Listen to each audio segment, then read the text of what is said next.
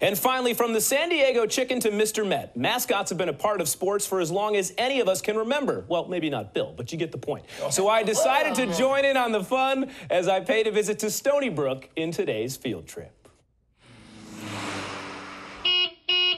Ah, yeah, excited for the game tonight. First time at Stony Brook. It's gonna be a good time. You...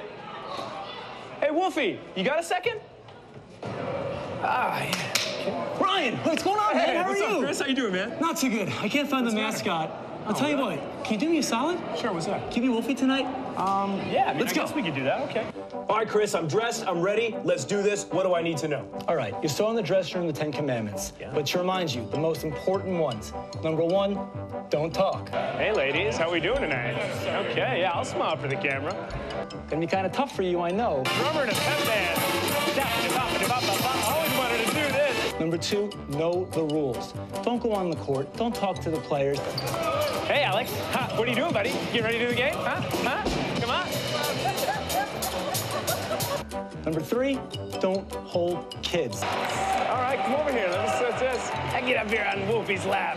Hey, all right, this is Wolfie, great. remember the rules. What? Don't pick up kids. Shh. Number four, stay hydrated for me. Man, is it hot in here? I need some water. Come on. This isn't working.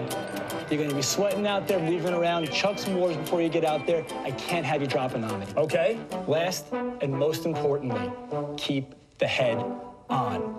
It is hot in this thing. I'll tell you what. kind of digging this mascot life. Come on, I'm just trying to play.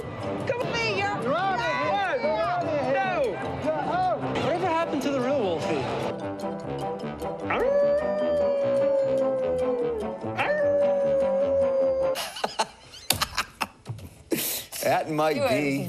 You like that one? You're going to get a syndicated show from this. That's what's going to happen. That's an Mr. all-timer. Met, we're coming for you next.